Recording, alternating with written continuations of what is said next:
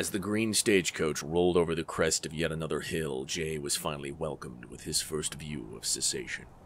It was an impressively large town from a distance. They were approaching from the east, which it seemed most the respectable sorts had built proper homes upon. A few domiciles could be considered mansions by all rights, but mostly all were small single floor cabins. In the center was a main thoroughfare and business district of the town, as well as a large industrial mining operation on the southwest corner of this bustling downtown area. To the south, west, and north of town were tents. Rows and rows upon rows of tents. Small, large, some networked together to form larger complexes, this was the sign of the booming gold rush within the Erie Valley.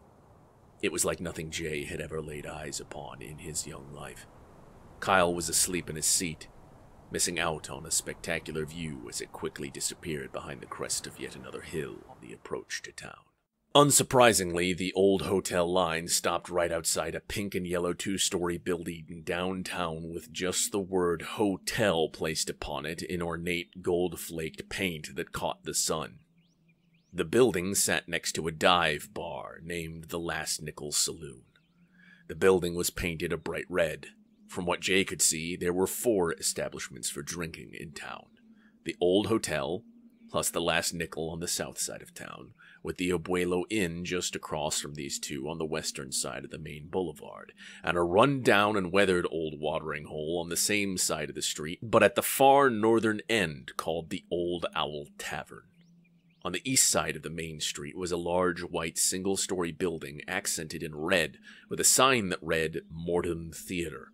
Jay was unsure if such a place would serve liquor, as it seemed that theaters were a coin toss as to being proper places of thespian persuasion or simply saloons with dancing girls and a stage. Judging by the look of it, his guess was on it being a place to see a proper production, not dancing girls. Hey, you two, Jay's attention was suddenly broken by the gruff shout of a man standing at the corner in front of the Abuelo Inn. A mustached man in a gray suit. The tip of a brown leather holster peeked out from under his jacket. A man in a gray brown suit and top hat stood next to him. He too was armed. They wore no badges or gave signs of being law. You idiots were supposed to come in on the red stage. What can't take directions? The mustache man barked. Kyle tensed. A veteran from the Plains Wars, he was very adept at knowing real trouble. Jay watched Kyle a moment. The man's eyes darted between the two strangers. Jay also tensed. Though at only nineteen, Jay wasn't experienced in the ways of violence quite like Kyle was. I believe you got us mistaken for someone else, Jay called back. We're new to these parts. The two men stepped closer, stopped about twelve paces from Jay and Kyle. Their eyes narrowed. It was the man in the top hat that answered next. We expected new miners to be arriving all day today. Y'all weren't sent by Mr. Lars? Never known a man by that name, Kyle replied. The boy speaks truth. We ain't miners. Got business in town that don't got nothing to do with gold. Y'all expect us to believe that everyone comes here for the gold. Afraid we'll steal your claim? Every damn claim produces in this valley. Y'all got nothing to fear, Mustache Man said then. Ain't none of your business what we're in town for, stranger. We want no trouble. Ain't gonna cause none either, Jay replied.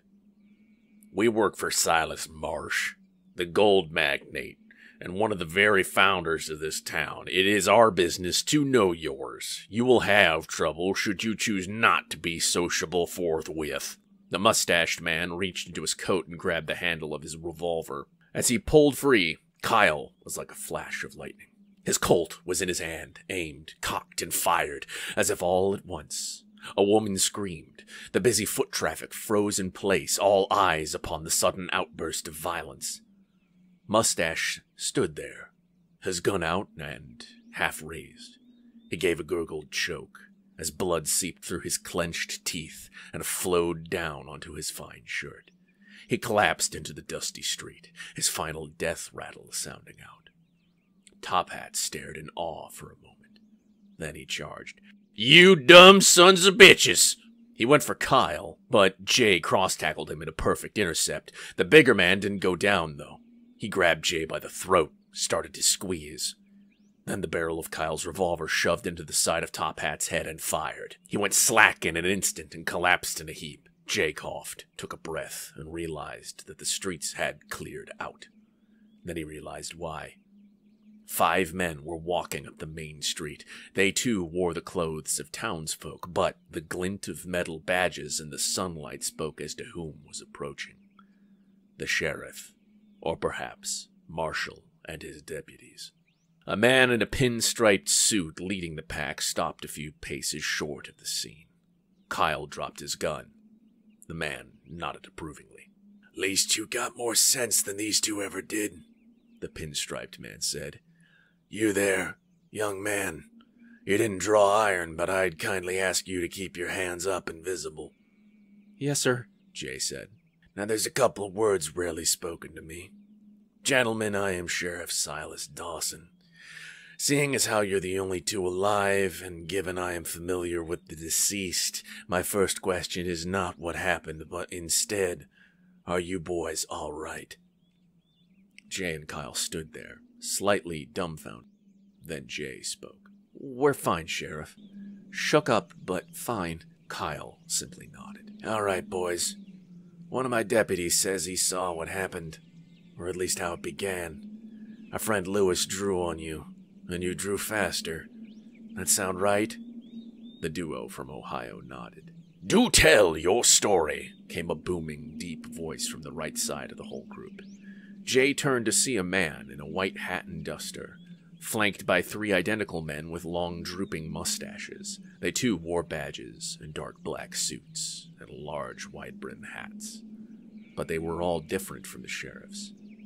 An identical set of triplets, apparently.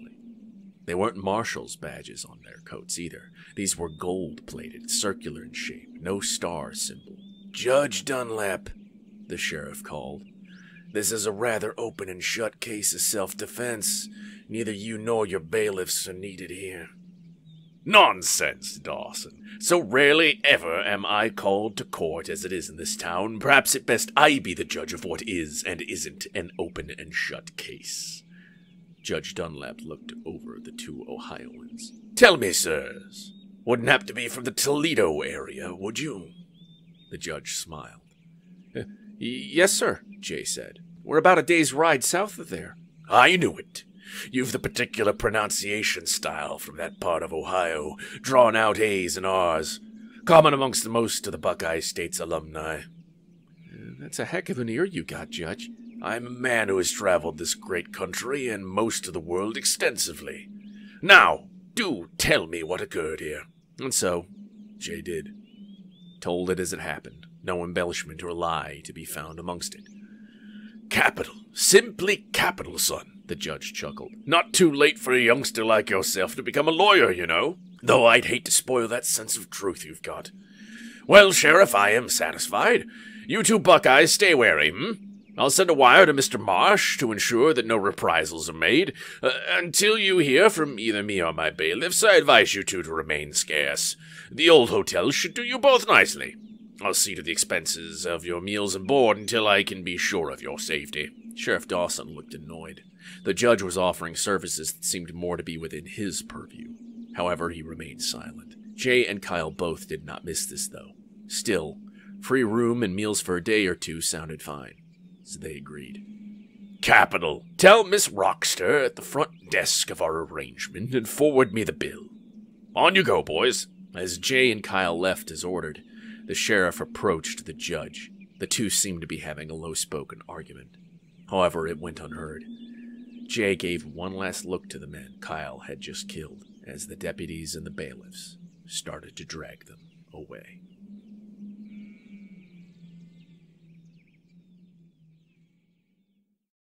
A most heartfelt thank you to my patrons and subscribers.